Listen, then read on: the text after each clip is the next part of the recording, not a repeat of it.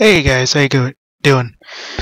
Alright, I got a very interesting story for you. Uh, this woman was found dead in a Walmart parking lot. Supposedly she had been there for three months inside her vehicle.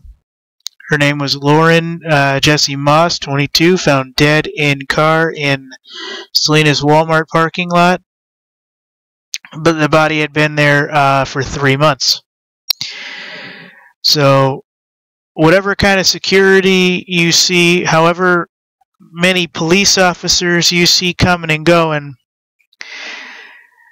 how do you not notice that there's been a vehicle there for three months straight? Not to mention, there's probably a really bad odor coming from the vehicle. Oh, yes, this is all true. This is not made up.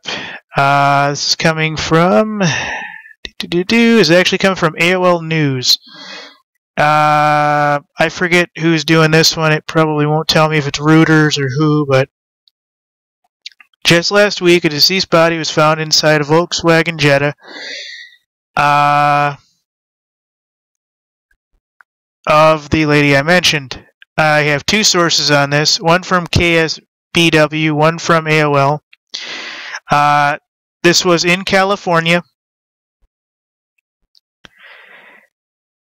And the the identified person was Lauren Jesse Moss, a 22-year-old who disappeared in mid-November.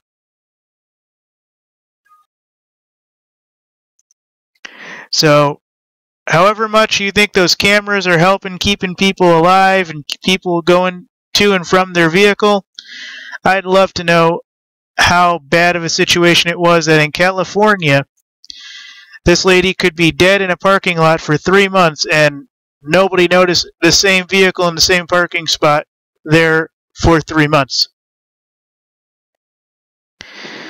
I mean, that kind of just shows you that the police there probably aren't doing the quality of the job they should be. I know it's not their job to do that, but, you know, reasonable suspicion would say you look over the video of everything and you go, hmm, that car's been there for hmm, a week now. Why? Let's go find out. Okay knock on it, find out, see somebody in there, or not, you know. And you kind of go from there. So, this is absolutely true. This is not a conspiracy theory or anything. Uh, so, authorities believe she committed suicide, supposedly. They supposedly found a suicide letter via her uh, sister written by Lauren, and supposedly a syringe found in the vehicle. Uh, so, anyways, it doesn't matter whether or not there was a uh, darkened window and a sunshade, but this was en enough to have visible suspicion of the situation and find out what's going on. And not only did the security guards in Walmart, if they have any, do anything or didn't do anything, some Walmarts do have security guards. I've seen it down in Florida and stuff. It's not just tech. Uh, it's not just Target. Um, but the police should have known. Hey, that vehicle's been here a long time. I wonder why. We need to investigate. Okay, you know, there, I mean, I, am all good for this facial recognition software and this software to detect all the weird things, you know, especially if a vehicle's been there for like a week straight in the same parking lot in the same, you know, exact spot the same way. There's a reason to, you know, knock on the door and, you know, check the license plate, contact the next of kin, find out what's going on, and then open the door. So, this is what's going on. I'll show you what I got here. So here it is here coming from AOL. She was in a Volkswagen Jetta. Uh, missing from, you know, for three months. Uh, it's coming from Fox News via the KSBW source. Body of a 22 year old found at Walmart. May have been there for months.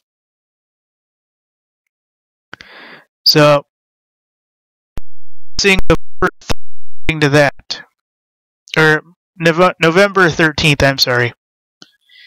So this is all true. And she's actually quite attractive, so I'm kind of surprised nobody really, you know, was missing her. I mean, gone for three months. Suicide, now no suicide.